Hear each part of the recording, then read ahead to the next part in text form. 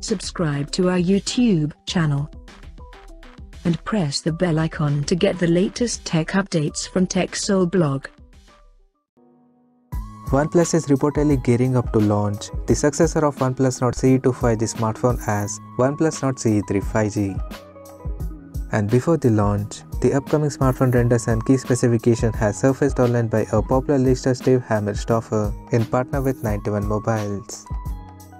According to leaks and rumors, the OnePlus Nord CE3 5G will feature a tall 6.7-inch IPS display with up to 120Hz refresh rate support and it has a hole punch cutout in the top center that will carry an 16 megapixel selfie shooter. The rear panel of the phone is seen to have a triple camera setup under circular ring at the top left corner that will include one 108 megapixel primary sensor along with the 2 megapixel secondary and another 2 megapixel third camera. The volume rockers alongside the ejectable SIM slot is visible on the left edge, while the power button is on the right side, which is equipped by fingerprint sensor.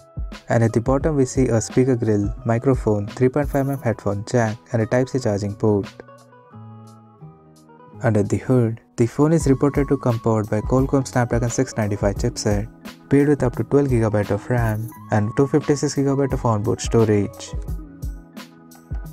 The handset is set to pack with a massive 5000 mAh battery that will support 67W fast charging.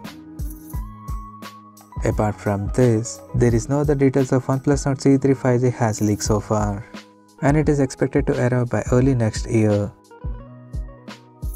So as of now, that's all we know about the OnePlus Nord CE3 5G smartphone and we'll come to know more detail about the phone in the coming days. Till then, stay tuned to TechSole YouTube channel for more tech updates. Thanks for watching. We'll see you guys in our next video.